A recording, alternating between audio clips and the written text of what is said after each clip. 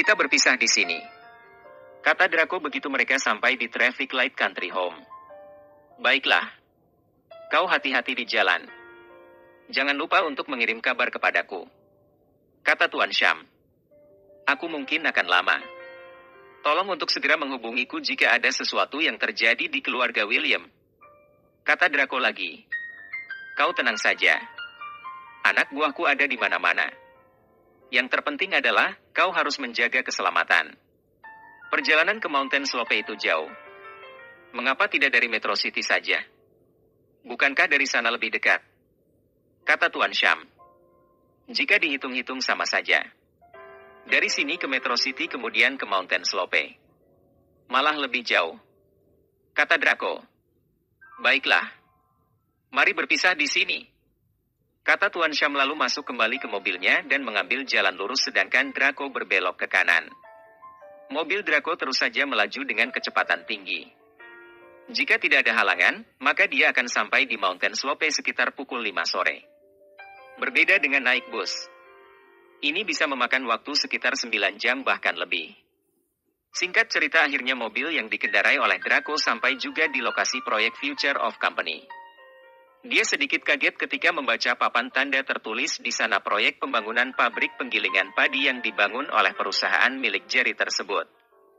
Draco terlalu malas untuk memikirkan sepak terjang Jerry sehingga merambah sampai ke perkampungan ini. Yang harus dia lakukan saat ini adalah segera menelepon nomor yang digunakan oleh Jerry kemarin sesuai dengan yang telah dia pesankan.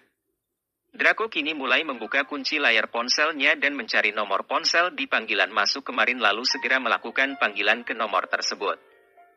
Halo Tuan Draco. Raven di sini. Apakah ada yang bisa saya bantu? Tanya Tuan Raven begitu panggilan itu terhubung. Revan. Sesuai dengan pesan Jerry kemarin.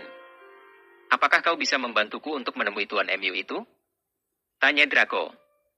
Oh, bisa Tuan. Apakah Anda telah tiba di Mountain Slope?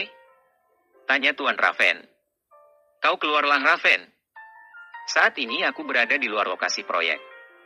Kata Draco. Tak lama setelah itu tampak lelaki setengah baya keluar dengan berjalan kaki dari dalam lokasi proyek dan langsung menghampiri mobil BMW hitam. Tuan Draco. Mari kita menuju ke rumah kepala desa terlebih dahulu untuk menitipkan mobil Anda di sana. Ini karena untuk mencapai tempat di mana Tuan Muda berada hanya bisa ditempuh dengan berjalan kaki. Kata Tuan Raven menjelaskan. Baiklah Raven. Kau masuklah. Kita akan segera ke rumah kepala desa itu. Kata Draco. Setelah Tuan Raven dan Draco tiba di rumah kepala desa itu. Barulah Draco faham mengapa Jerry sampai membangun pabrik penggilingan padi dan bendungan untuk irigasi serta pelebaran jalan. Ternyata kepala desa Mountain Slope itu adalah ayah Rian sahabat Jerry yang saat ini sedang bolak-balik Star Hill Country Home untuk belajar Dapman bekerja. Setelah berbasa-basi sejenak dengan kepala desa itu, Draco pun akhirnya mengajak Tuan Raven untuk segera menjadi penunjuk jalan menuju rumah di mana Jerry berada saat ini. Tangkis ini Jerry. Terdengar satu suara memberi peringatan membuat seorang pemuda yang sedang berlatih segera mengalihkan perhatiannya ke arah datangnya suara tersebut. Wus. Baru saja suara itu hilang, mendadak dari samping melayang sepotong buah ubi mentah mengarah tepat ke arah kepala pemuda itu. Wuk. Adau. Tampak seorang pemuda jatuh terduduk sambil memegangi kepalanya yang benjut terkena lemparan buah ubi tersebut.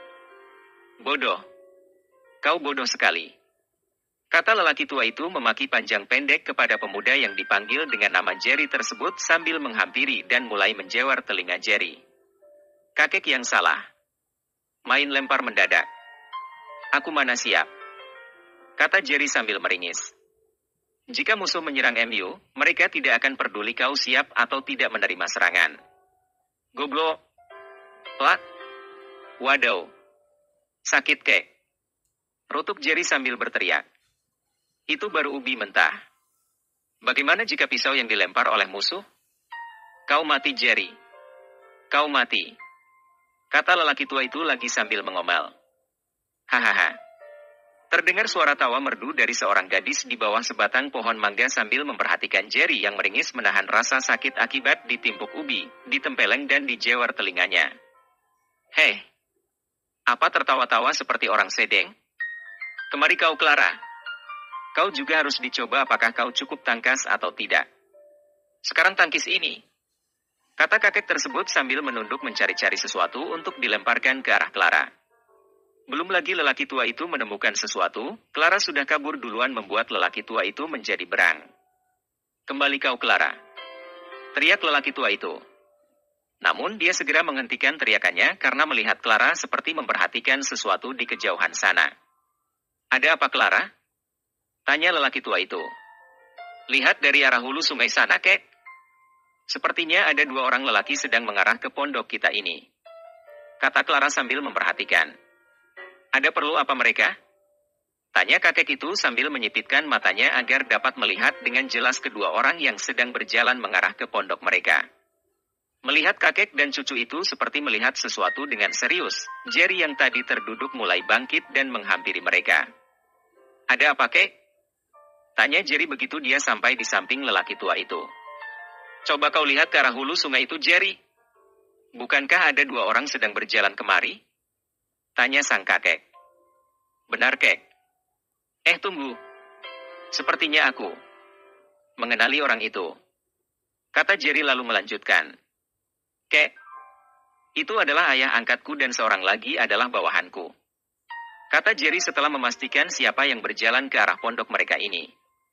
Tak berapa lama kemudian kedua lelaki yang tampak dari kejauhan itu mulai mendekat dan mereka kita sudah saling bersehadapan.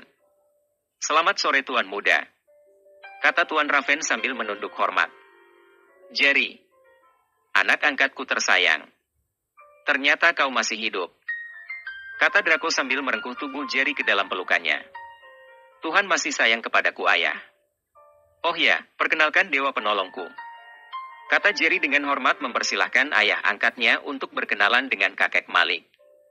Setelah mereka saling berjabat tangan, Draco langsung menegur Jerry dengan menanyakan apakah gadis yang saat ini bersama mereka itu adalah yang dia katakan di telepon kemarin sebagai calon istri. Dengan serius Jerry mengangguk dan mengiyakan pertanyaan Draco membuat Clara merasa sangat malu. Ayo kita ngobrol di dalam. Aku akan meminta anak perempuanku untuk membuatkan minum. Tentu kalian sedang kehausan. Kata kakek Malik sambil mempersilahkan tamunya untuk mengikutinya masuk ke dalam pondok mereka. Roksana, tolong buatkan minuman untuk tamu kita ini. Kata kakek Malik meminta agar Roksana membuatkan minuman untuk tamu mereka yang datang dari jauh. Baik ayah. Kata satu suara dari arah dapur. Roksana, nama itu dan suara itu. Mengapa begitu persis? Kata Draco dalam hati. Dia lalu berpikir keras. Jika Jerry bisa sampai ke tempat ini karena dibuang ke bawah jembatan oleh Ramendra, apakah istrinya juga dibuang di jembatan yang sama lalu ditolong oleh kakek Malik? Draco terus berpikir keras sampai satu ketika. Prang! Ting! Terdengar suara gelas dan nampan terjatuh ke lantai pondok tersebut hingga pecah berantakan. Draco! Kau, kau, Roxana. Kau apakah ini nyata? Kata Draco sambil menggosok-gosok matanya dan menampar pipinya sendiri. Sakit. Berarti ini nyata. Kata Draco lalu bangkit berdiri dan menghambur memeluk wanita yang terdiam seperti patung itu. Adegan ini membuat Clara, kakek Malik dan Tuan Raven tercengang. Hanya Jerry saja yang terlihat biasa saja.